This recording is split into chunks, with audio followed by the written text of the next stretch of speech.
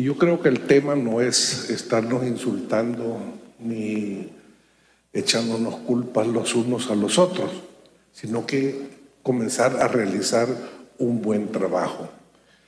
Y además invertir en las prioridades que creo que todos tenemos.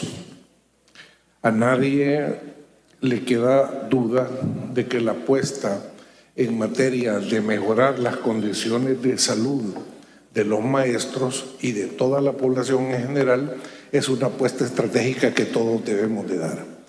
Y aquí no es de buenos ni malos, ni de viejos ni nuevos, ni de quién tiene la razón o no. He escuchado una gran cantidad de, dijéramos, de expresiones y ninguna ahonda al tema que nosotros estamos abordando en este momento. Aquí lo que estamos haciendo nada más es una reforma a la ley del presupuesto de 2021 para hacer una incorporación al Instituto de Bienestar Magisterial de 1.300.000 dólares. ¿De dónde provienen estos fondos? Son propios de la institución definitivamente, no es cuestión de préstamos, no es cuestión de mayor endeudamiento ni nada por el estilo. Pero sí lo que nos deberíamos de fijar es qué es lo que nosotros construimos y ponemos.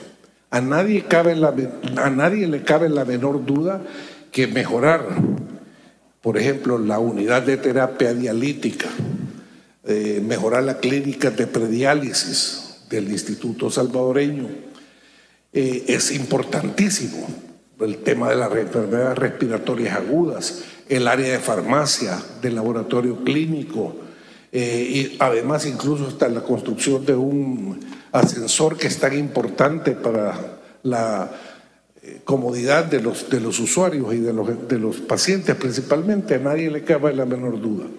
Pero yo he escuchado con mucho detenimiento la lectura del dictamen y volvemos a cometer los mismos errores.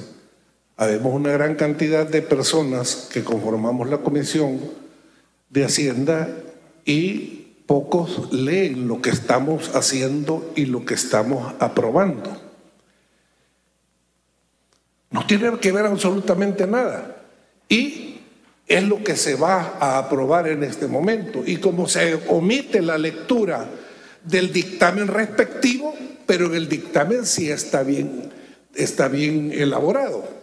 Entonces, para que se den cuenta cómo nos perdemos en la discusión, es más fácil hacer una política de odio y de insultarnos que realmente de hacer un trabajo efectivo.